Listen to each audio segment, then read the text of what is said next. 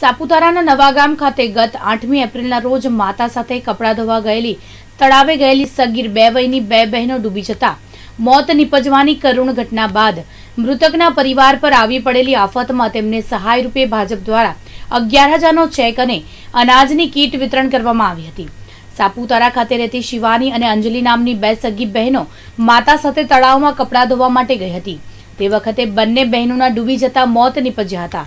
મૃતક બહેનોની માતા હવસીબેન રાજપણભાઈને ડાંગ ભાજપ પરિવાર તેમજ ડાંગ જિલ્લા પેરેડાઇઝિંગ એડવેન્ચર એસોસિએશન સાપુતારાના પ્રમુખ તેમજ ભાજપ યુવા મોરચાના પ્રદેશ કારોબારી સભ્ય હીરારામભાઈ રતિલાલ સાવંત અને સિદ્ધાર્થ કિશોરભાઈ હિરે અગિયાર હજારનો ચેક અને અનાજની કીટ આપી હતી.